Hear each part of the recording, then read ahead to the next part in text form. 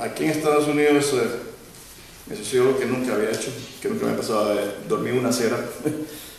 mi hermano se fue de viaje, yo regresé temprano de mi trabajo y mi papá no estaba y no tenía donde dormir. Y se llama La cera que me abrazó. Dormí en la calle una noche. Y te he abrazado sin pensar que lo haría algún día.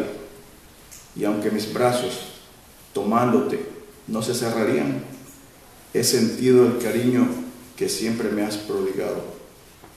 Todo mi cuerpo descansó sobre ti, sin una sábana que nos separara.